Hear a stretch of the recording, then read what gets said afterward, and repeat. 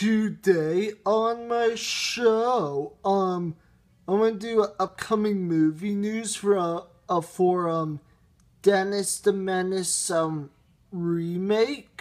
Um, I heard that Hollywood might do a um Dennis the Menace remake, but um, we're not really sure yet. Um, know how in the movie um Dennis is a mischievous kid who is just crazy.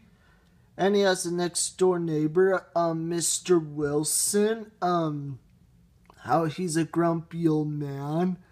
And, um, and that's all for my show today. And, um, make sure to comment below of, um, are you excited to go see Dennis the Menace remake in the future and why? And don't forget to subscribe. And that's all for my show today, and see you next time.